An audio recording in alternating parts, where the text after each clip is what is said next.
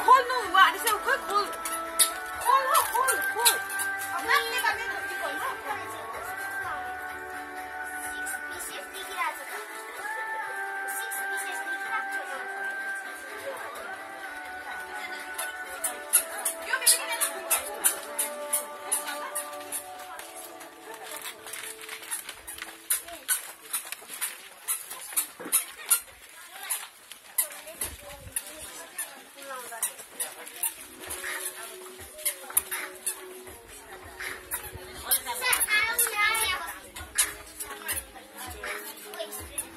केटाकेटी सबै मेरो एकजना आमाको छोराछोरी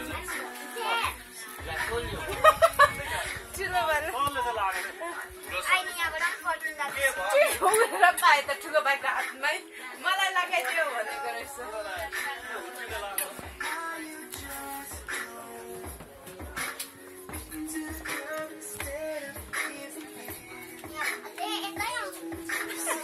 Hello, ladies and gentlemen.